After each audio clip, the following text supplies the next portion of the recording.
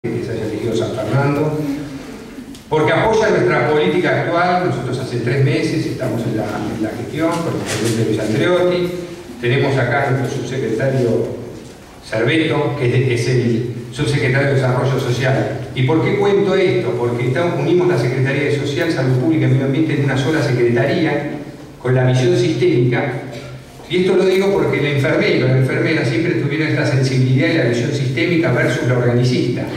Les digo esto porque me acuerdo mis primeros años de residente en el hospital de Tigre, que está nuestra amiga Alejandra como directora acá presente, cuando era residente de medicina general rural, que me acuerdo cuando uno empieza está con muchos miedos, uno cree sale de la carrera de medicina con una visión organicista, realmente no con una visión eh, de prevención y mantener sana la población, sino todo es, se basa en la enfermedad, la, anatomía patológica, los cortes de tora, siempre buscando la patología. Y entonces se educa buscando la enfermedad.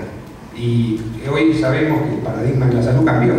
Hoy todas las formaciones mantengamos sana a la población, primero por la calidad de, vida de todos, porque la salud es un valor esencial de todo país. Eh, segundo, también hoy las enfermedades catastróficas, las enfermedades de alto costo, eh, ningún presupuesto hoy puede eh, asegurar la cobertura de estas patologías. Y esto se llega justamente por no tener una política sanitaria de seguimiento, de prevención, de adherencia a los tratamientos